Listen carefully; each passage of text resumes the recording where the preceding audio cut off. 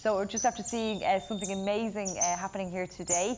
Our male golden lion tamarin is uh, here by himself with our two pygmy marmosets, Mammy and Daddy, and they have their two new babies as well, so they're a pair of twins.